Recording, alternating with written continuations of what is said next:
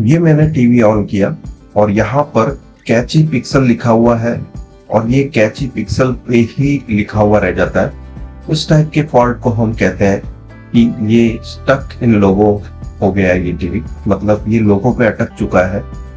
इस फॉल्ट को हम कैसे दूर करेंगे? आइए देख लेते हैं। इस बोर्ड का नंबर है TP dot M S three five eight dot P V eight zero two और इसमें ई एम एम सी आई सी लगी है। K L N eight G one G इसका मतलब एट जी डेटा और वन जी रैम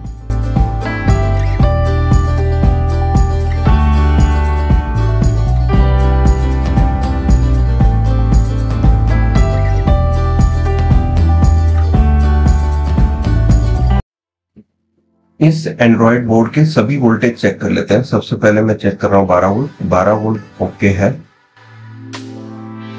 पाँच volt okay है। 3.3 volt stand by okay है 1.5 वोल्ट रैम ओके है। पावर ऑन के बाद 1.8 वोल्ट जो ई में जाएँगे, वो अब ओके है।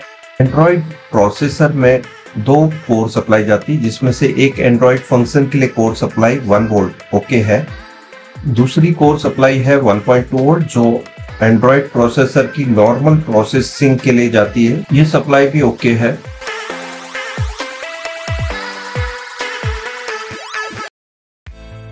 अब मैं ई एम एम सी आई सी निकाल लूँगा। मेरे पास अपडेट फ़ाइल है, लेकिन उसमें क्या है कि मुझे पहले पेन ड्राइव की फ़ाइल अपडेट करने से पहले ई एम एम सी के डेटा रीड कर लेने चाहिए बैकअप लेने के लिए।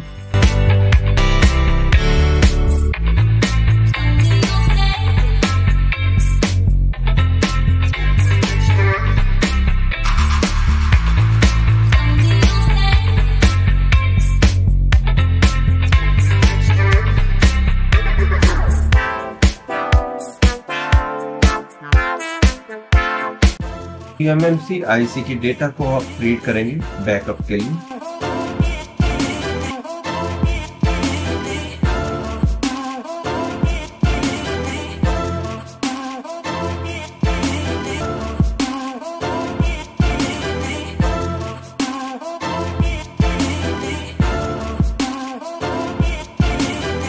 ईएमएमसी आईसी को बोर्ड पे फिक्स करेंगे।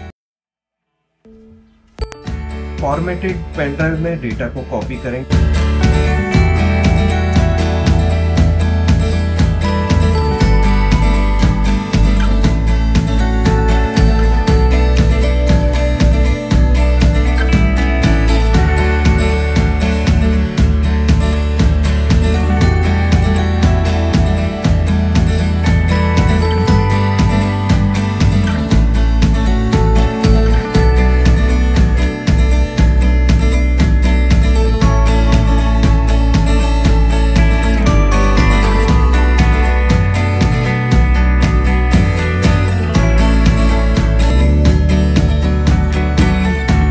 अपग्रेड वाली पेन ड्राइव को आप बोर्ड पे फिक्स करेंगे। इसके बाद बोर्ड को पावर सप्लाई देंगे। इंडिकेटर लाइट ब्लिंक हो रही है और यहाँ आप देख सकते हैं अपग्रेड सॉफ्टवेयर जो है वो अपग्रेड हो रहा है और यहाँ पर 49 52 परसेंट हो चुका है। Please do not turn off power अभी इंडिकेटर लाइट स्लो ब्लिंक हो रही है। अपग्रेड होने के बाद ये फास्ट ब्लिंक हो जाएगी 100 परसेंट होने पर।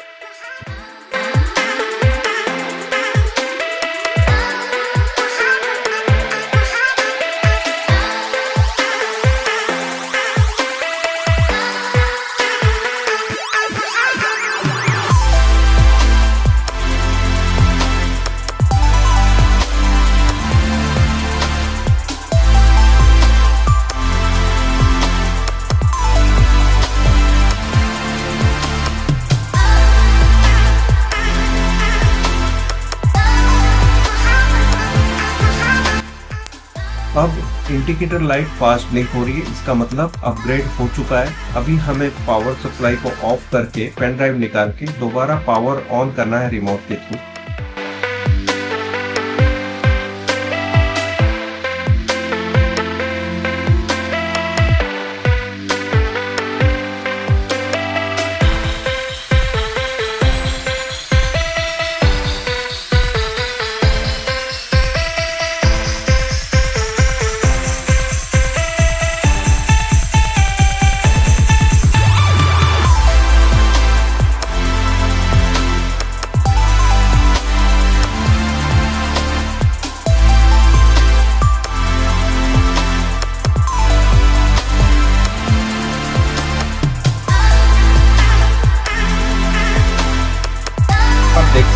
फ्रेंड निकाल के मैंने अभी जो कीबोर्ड और माउस चलाने के लिए यहाँ एक टॉगल लगा दिया ताकि मैं कीबोर्ड से सब फ़ंक्शन यहाँ पर कर पाऊँ।